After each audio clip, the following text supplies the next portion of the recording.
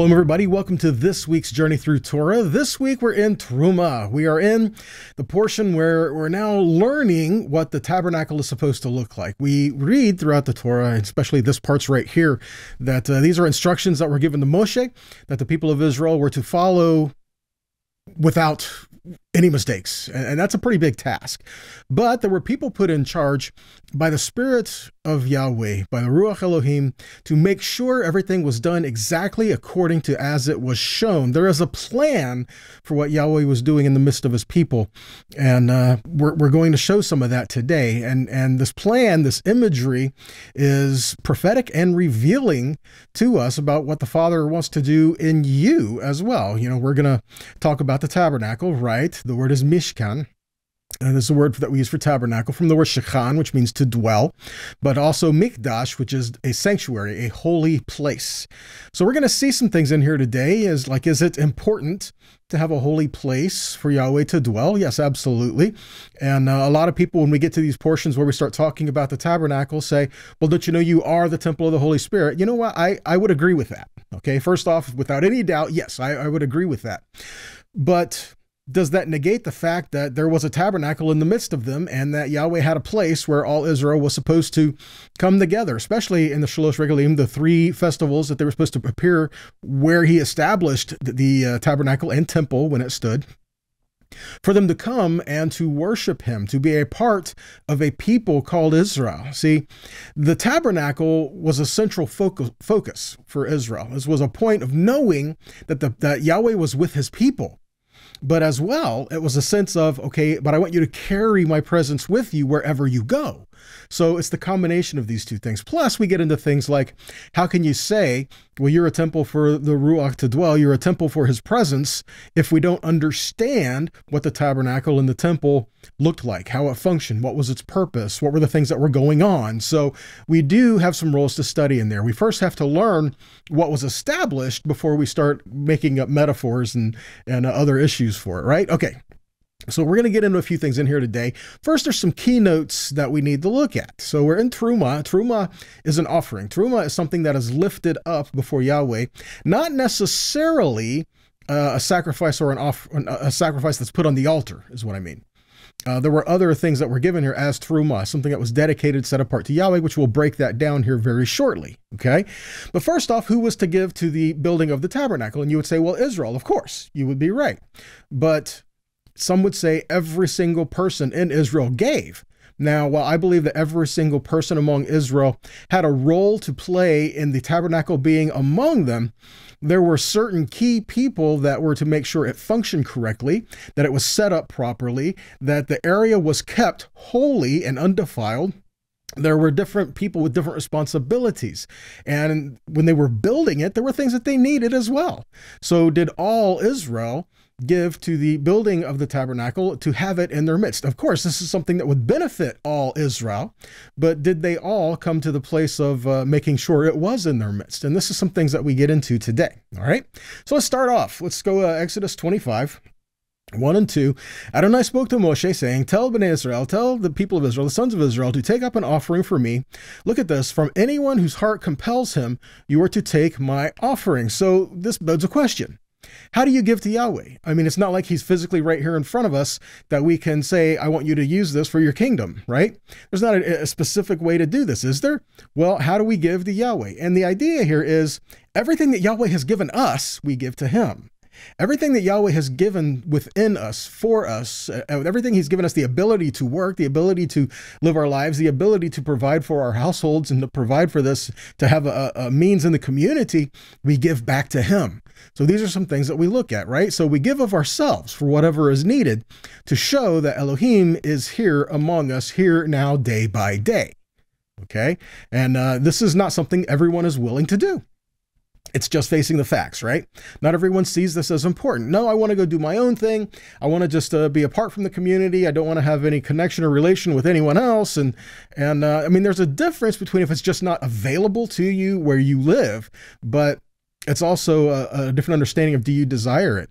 Uh, this is again one of the key connecting points why Yahweh wanted the people to go to Jerusalem. We're not in that portion of scripture today, but this is what this is what he wanted us to keep in mind that we are connected to him, but we are a part of a people. So how do we give to Yahweh? How do we do this? Well, it starts off when he says, li to give to me.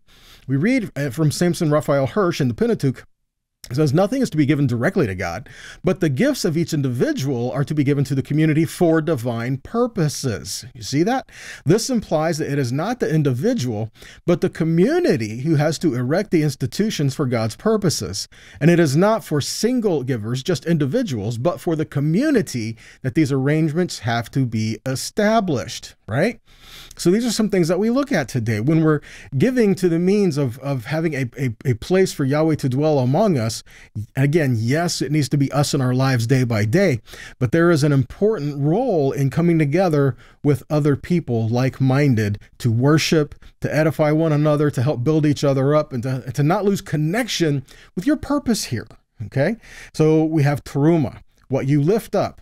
And what we learn is that when you lift up and dedicate something to Yahweh, yes, it's given for holy purposes, it's given for divine things, but as well, in the process of giving, you enable that to be in your midst. So by giving to the divine things, you're making sure these divine things are among you. You benefit from that. So in turn, you give to elevate the presence of Yah in around you, but by the but by the presence of Yah being around you, you also are lifted up yourself. See that? Uh, makes me think of Yeshua. He says, "Give it will be given to you." Now, I'm not just talking about money, guys. Normally, it's at this point where either people either turn off the video or or uh, uh, uh, pull up other things that I'm not saying. Okay, what I am saying is that means everything. Okay, yeah, it, it includes uh, money, offerings, things like that. But I'm talking every aspect of your life, everything, because when Yeshua said, "Give it will be given to you," it was in regards to everything that you give, everything that you do will be returned to you. You know, uh, you help someone out, you'll get help back. You speak evil of someone, that's going to be returned to you as well. You bless someone, that's going to be returned to you as well. Every aspect of our lives follows this principle. Okay, you give to holy things, and then the holy things are being around you. You you reap benefits of that. You have blessing for that. Okay, these are some of the things we're talking about. So truma, the word truma is from the word rum, means to be raised above something, hence lifted up out of something, to be separated for a higher purpose. It's related to the to this to this word uh, nadav, which is uh, also related to nataf. Okay, but we're talking about etymology here. Okay, so these are re- related words.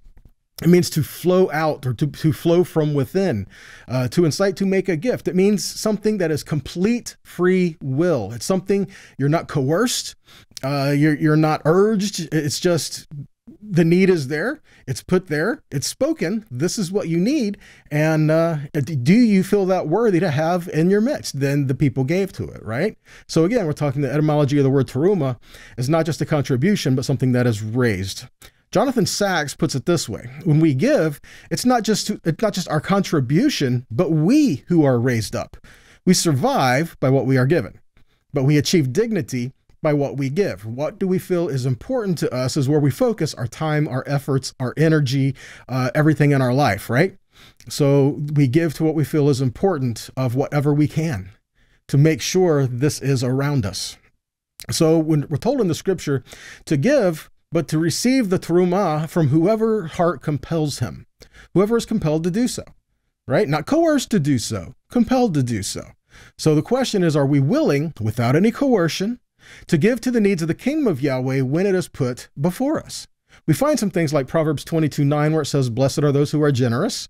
2 Corinthians 9 7 says, Each should give according to what he has decided in his heart, not grudgingly or under compulsion, for God loves a cheerful giver. 3 John 1 5 and 6 says, Dear friend, you are being faithful to God when you care for the traveling teachers who pass through, even though they are strangers to you. They have told the, the assemblies here of your loving friendship. Please continue providing for such teachers in a manner that pleases God. See, so it's a matter of what we are giving to to make sure that the, the work of the kingdom continues in our midst, in our lives personally, but as well as an outreach of those beyond us who may help in ways we, we never can, right? So the question here is, are we willing? Well, the question back then was, were all of them willing? Let's take a look at it. Exodus 35, we will go forward a little bit. Exodus 35, verse 4. Moses says to all the congregation of the people of Israel, "This is the thing that Yahweh has commanded." Again, we have uh, the, the the plan was given, and then we see Moshe going and reiterating it to the people. Right. So this is what we have here, verse five: Take from among you a contribution to Yahweh. Whoever is of a generous heart, let him bring Yahweh's contribution. Then he goes through and he lists some of the things that are needed. Right. But then what happens? Exodus 35:20.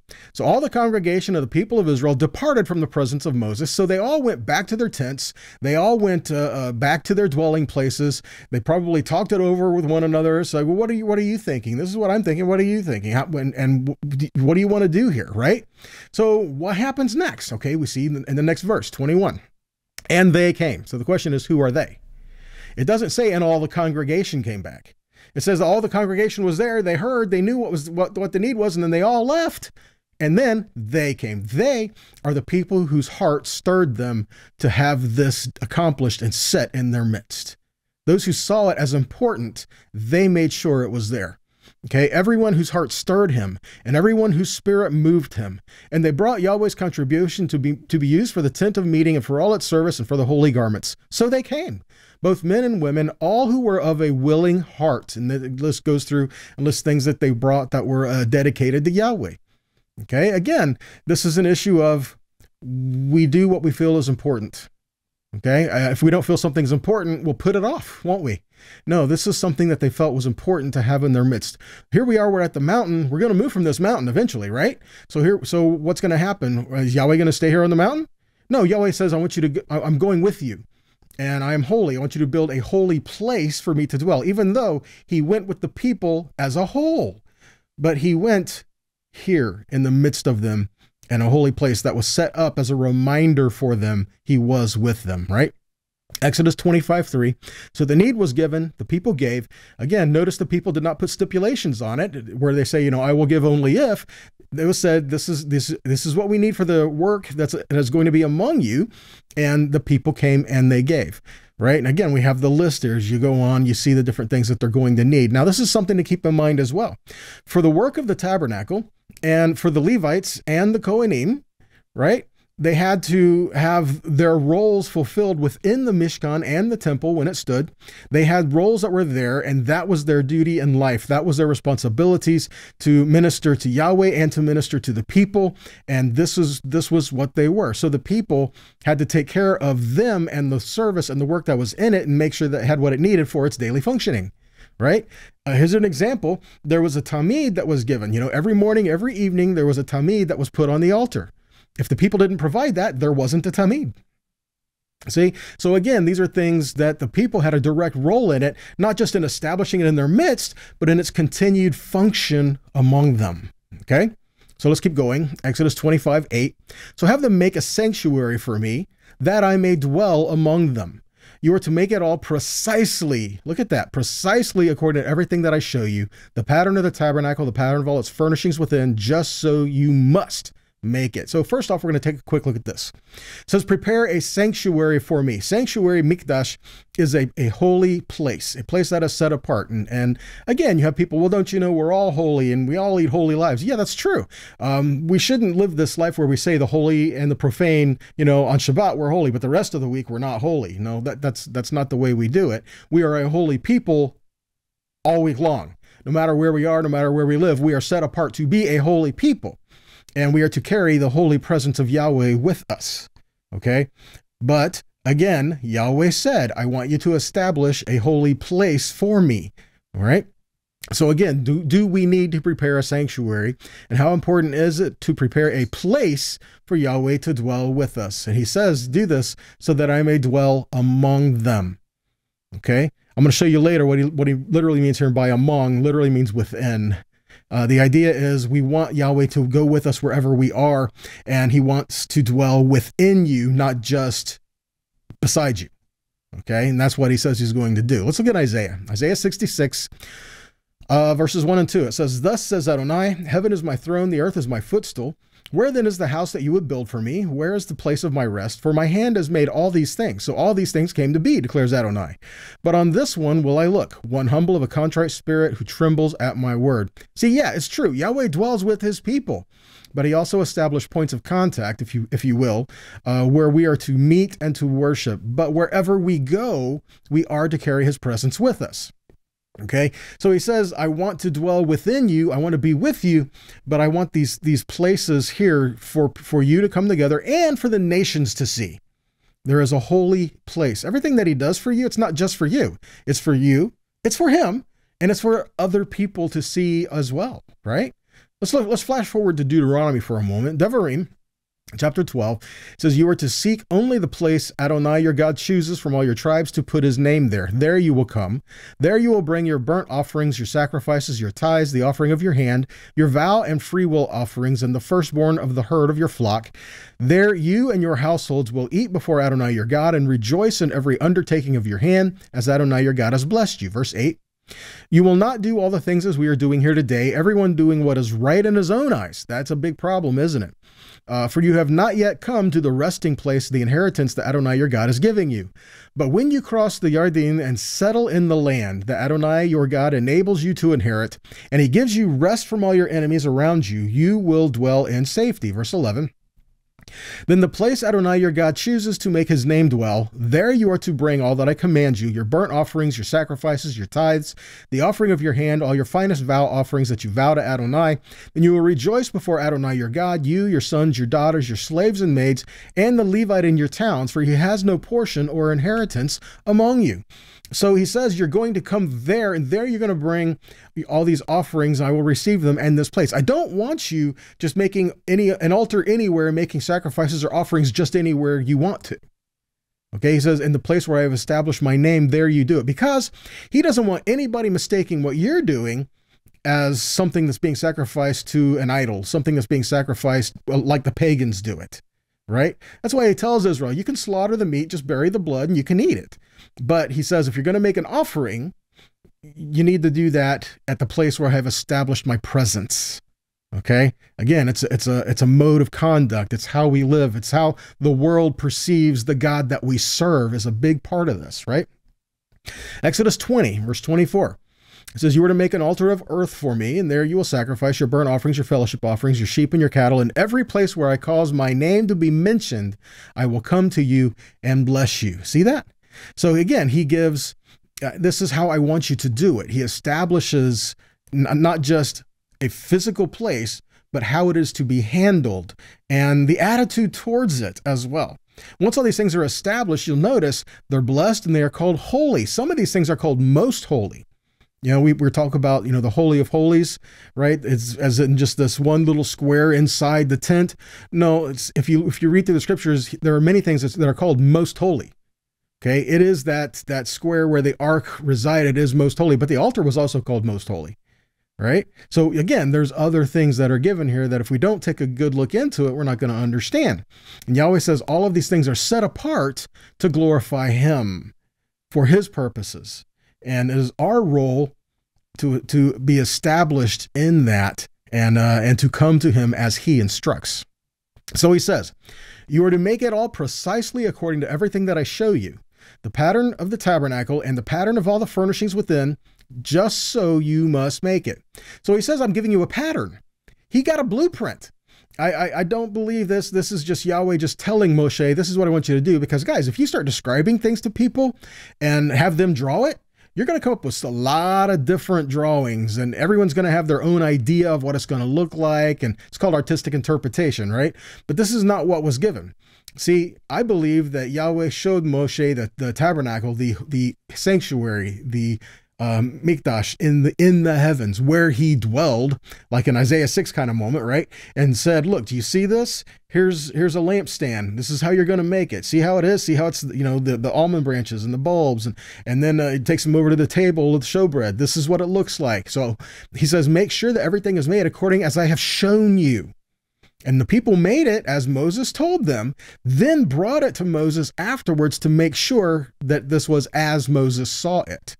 So there could not be any artistic interpretation here. This isn't be like, well, this is the way you said Moses, but that doesn't make sense to me. I'm going to do it this way because don't you know it'd be more practical if it would look like this.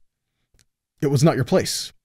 Okay, it was the place to make it as it was given to Moses. And we see some of this in Hebrews 8, 8, 5. It says they serve a copy and a shadow of the heavenly things, right? So it says the things we have here are shadows and copies. For when Moses was about to erect the tent, he was instructed by God, saying, See that you make everything according to the pattern that was shown you on the mountain. He showed Moshe things on the mountain, not just explained them, not just spoke, he showed them to him. And uh, he was to take this and then take this blueprint, if you will, and give it to the people, and the people were to make it. Same thing when David passed it on to Solomon, right? David wanted to build a house for Yahweh. Yahweh says, You're a warrior, you got a lot of blood on your hands. There needs to be a man of peace to build my sanctuary. It's honorable that David wanted to do this, and, and God gave David the plans. But Solomon was the one to build it, right? Let's look at this. First Chronicles 28. 10 through 19, uh, I, don't, I, don't, know if we're going to read the whole thing, but 10 through 19 is what we're looking at. It says, Be careful now, for Yahweh has chosen you to build a house for the sanctuary. Be strong and do it. Look at verse 11. David gave Solomon his son the plan. Look at verse 12. He gave him the plan that he had in mind for the courts. He get he all these things. There was a plan for these things. Even verse 13, the divisions of the priests and the work of the service, not just how things were supposed to look and, and the measurements, but how they were to function and how to divide up the people so, to, so they had their roles in order. You know, the divisions of the priesthood. We have all these priests. How do we pick who serves what, when, where, how? Right? All of these things God gave to David, and, and David gave to, to, Solomon, and Solomon is the one to help institute it, put it back in there. Uh, verse 16, going on, continuing, the weight of the gold. Verse 17, uh, the gold for the forks, the basins, the cups, the altar, the altar of incense, all of these things, right? Now look at verse 19. All this he made clear to me in writing from the hand of Yahweh, all the work to be done according to the plan. All of this he got from the hand of Yahweh, according to the plan. And it's this plan he gave to Solomon. And then Solomon did it. Solomon built it. Solomon instituted it. Okay. So, what are the things we're looking at? Now, what I want to establish to you is that this temple, tabernacle, and everything like it is, we see in many places in Scripture. Okay. This model of the tabernacle is, uh, is a model for the presence of Yahweh anyway, even in you. Okay. Uh, we are body, soul, spirit, a tripart being, right? We are body, soul, spirit. And even within that, he dwells in you in spirit, in the midst of you. They, they started building at the very innermost part. They started with the ark, and that represents your heart, right? They started within. You give them that first. That's the first thing that's made for the, for the presence of Yahweh, your heart. And then everything was built from the inside out and then it was assembled. Okay. All right, let's keep going. So he says, make it after the pattern I show you, even back in the garden. There's symbolism and, pattern in places where we see that Yahweh will dwell. In every place, the tabernacle in the heavens was a model for the others. In the garden, we have He created Eden.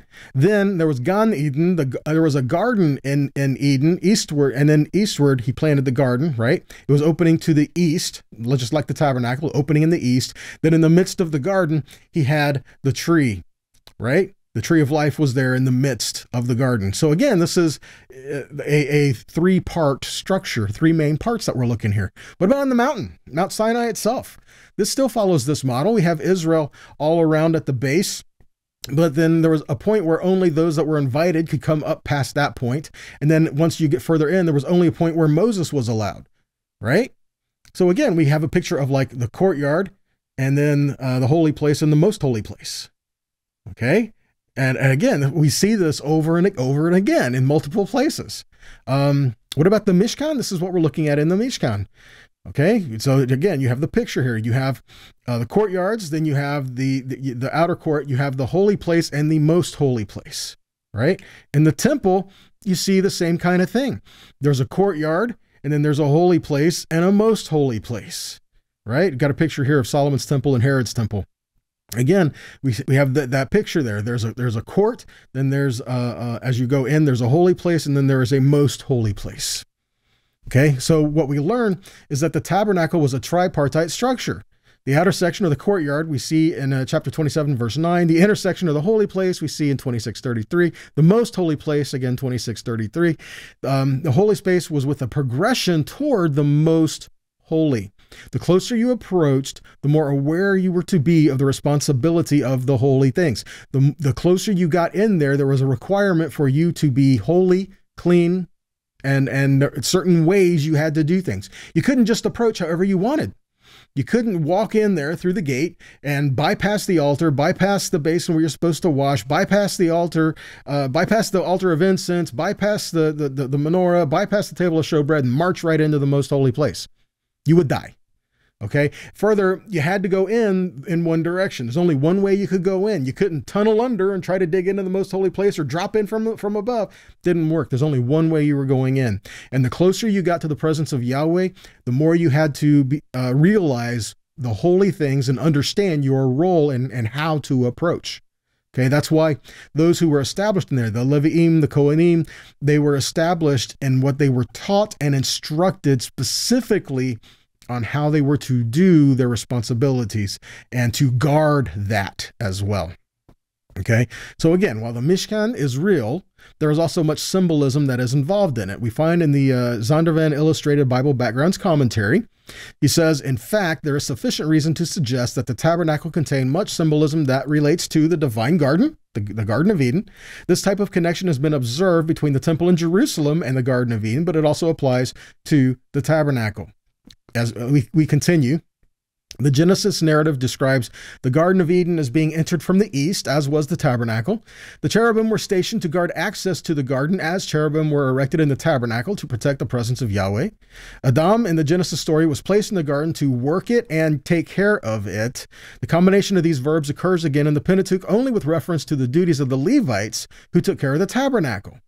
The lampstand as a tree of life fits within this garden symbolism as well. And we see again in Hebrews 9, uh, verse 22, where it says, With blood, almost all things are purified according to the Torah. And without the shedding of blood, there is no forgiveness. Um, we, we touched on this before, where this is also implying Jub- the Jubilee years as well. It says, Without the shedding of blood, there is no remission, or this relates to the Hebrew word Yovel.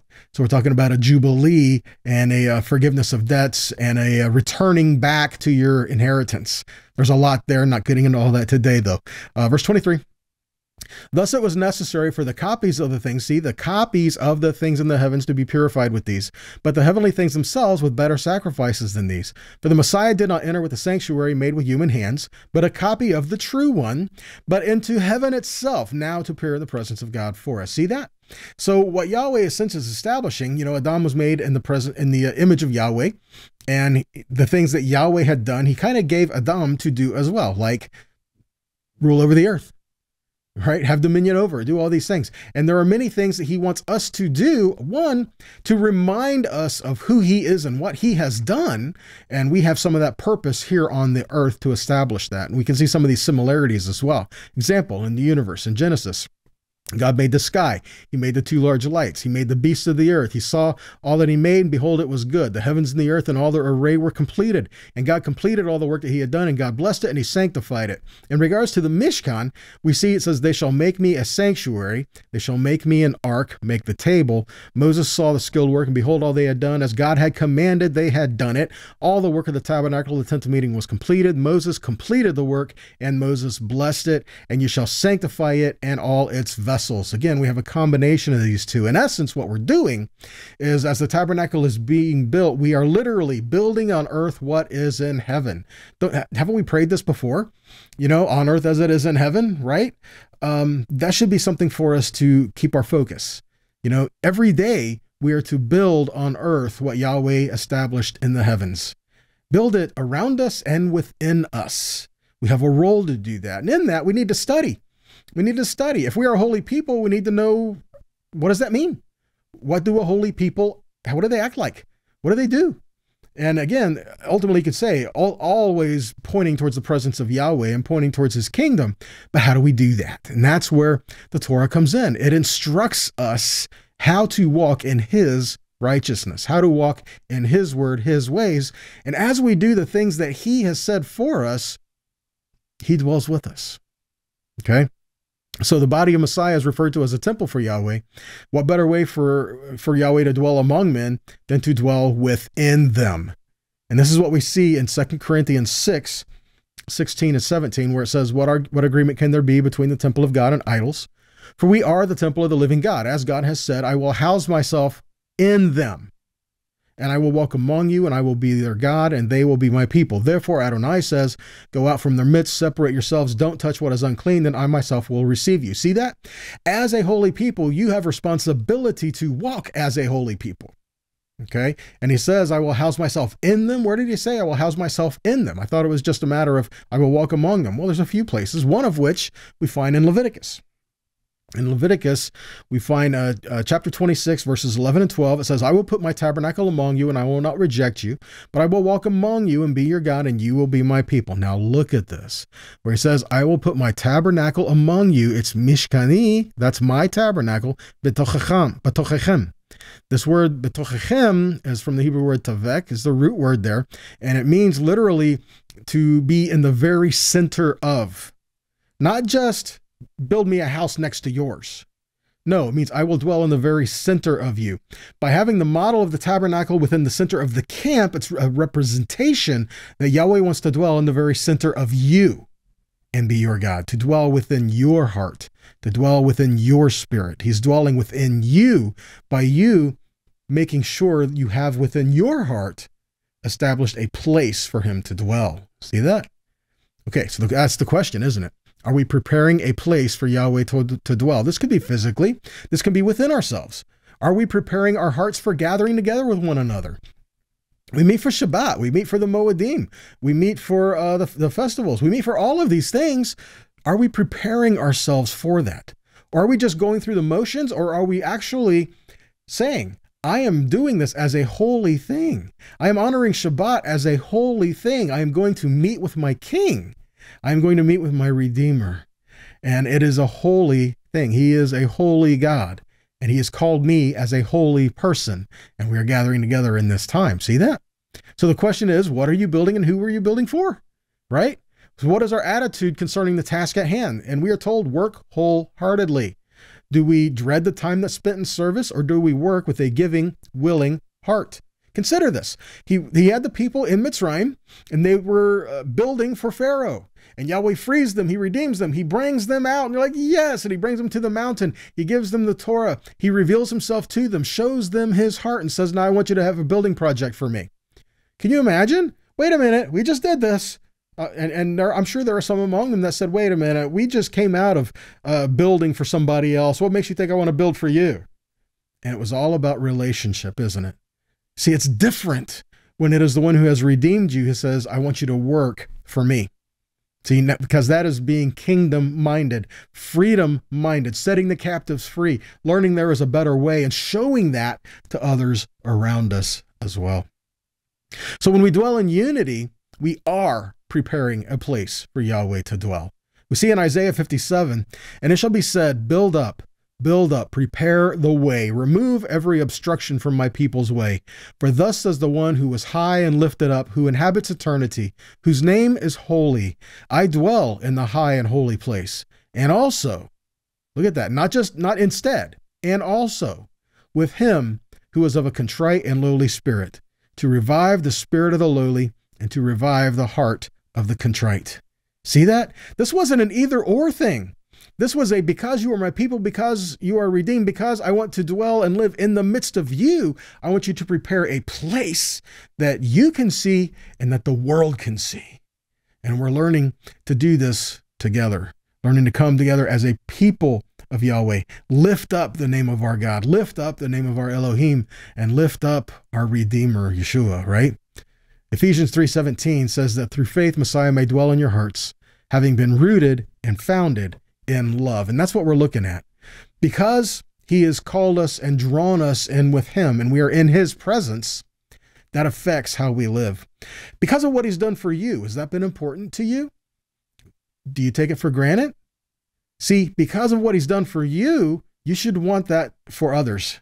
Because he set you free, you should want freedom for others as well. We need to help to be kingdom minded and uh, to help to help one another in this, in a place of unity, a place of dwelling together, and a place of learning to serve the Most High in our midst by helping out one another too. Okay, so uh, there's a lot to be given here. I pray that uh, in, in, these notes that we've given here, I hope that there's some things there to kind of uh, uh, shoot forth for your own study, for your own edification, for your own time. More stuff that you can share as well, right? So I do hope this has been an encouragement to you. I do hope this has been a challenge for you as well. And I hope that it blesses you, okay? Uh, if this has been a blessing to you, would you consider making a donation to help us and enable us to continue doing these videos and making these and help putting them out there as well? Uh, share them if you if you like what you're hearing, if it is a blessing to you, then share them with with uh, people that you know. Share them whatever kind of social media that you use, or uh, text links, or whatever. However, however uh, Yahweh puts it on your heart, share them so that they can be a blessing to others as well. Okay. So uh, until next time, I pray that you are blessed and uh, that you be a blessing to others around you, and just live the life that He's called us to live. Okay. So be blessed and shalom.